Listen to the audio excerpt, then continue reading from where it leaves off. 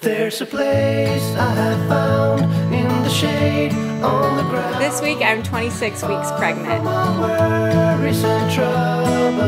went to the grocery store the other day to buy some dessert to take to a neighborhood barbecue, and I picked up Fat Boys, and literally I couldn't wait to eat it. Like, we got in the car and I started opening the box, and Brad's like, What are you doing? And I'm like, I have to have it right now. He's like, Can't you wait like two hours? But I literally like couldn't wait. Like, an ice cream sandwich sounded so good. Lucy's Lucy loves to feed the ducks, so we're looking for the oh ducks.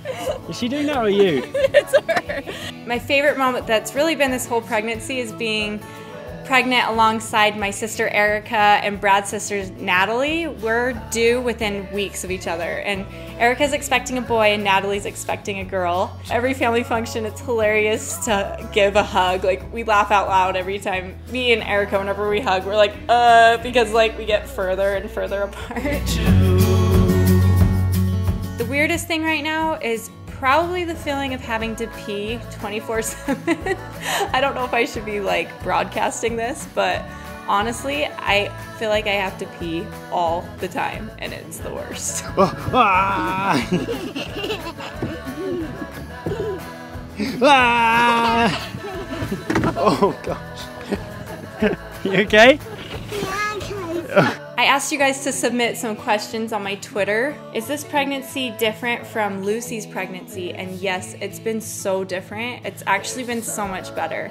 That's why I'm wondering if we're having a boy. Like, I was sick towards the beginning of this pregnancy, but not like so sick. When I was pregnant with Lucy, I lost 10 pounds at the beginning because I couldn't keep anything down. And with this one, I threw up a couple times, but it wasn't like super crazy nausea.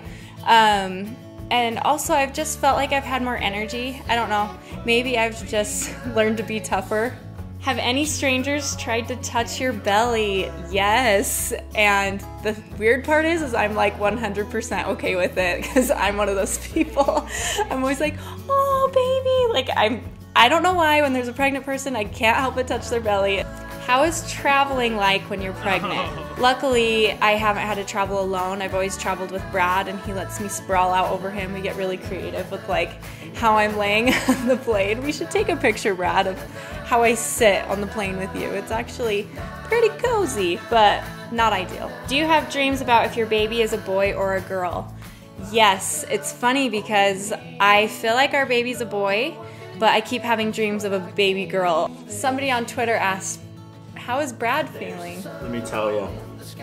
You don't know what it's like to live with a pregnant lady. I'm just kidding. I'm just kidding. I don't know. Super excited. Excited?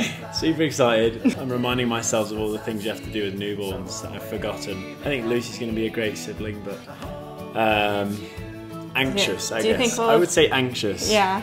So, So, somebody else asked. oh, Stay here. another question. Yeah, somebody else asked. Do you think we'll keep traveling with baby number two? Yeah. I think we will. Oh, for sure. We started traveling with Lucy when she was about three months. We took her to Italy for the first time, and we also took her to California. And I loved it. Like, I thought it was the prime time to take a baby to travel because they're just sleeping so much and you're nursing. And um, Lucy's such a good traveler as it is, and so nothing's going to hold us back.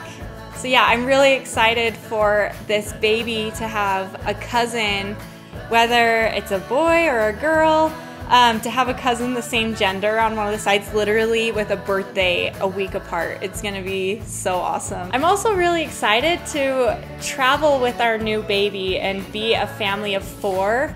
Um, traveling to these different places. I think it's gonna be just a blast for Lucy to have a little friend in the future. I know that in the beginning it's gonna be a little bit more of a challenge with a newborn and a toddler, but I think for the long run, it's going to be a lot of fun, and I'm really excited.